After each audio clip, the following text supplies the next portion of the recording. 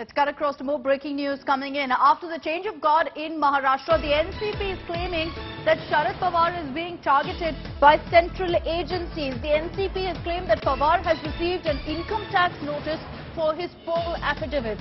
They've questioned whether this is just a coincidence or something else. The NCP questioning the timing of this income tax notice that has been issued to Sharad Pawar. This also comes in the back of the ED issuing those summons to Sanjay Raut, which the Shiv Sena maintained was politically motivated.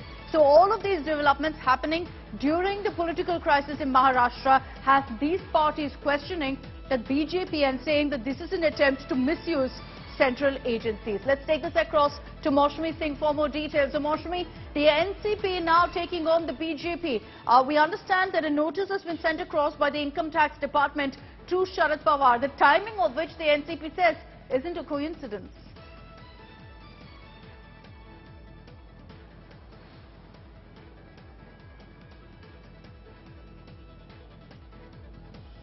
Don't think we have Maushami with us. Maushami, can you hear me?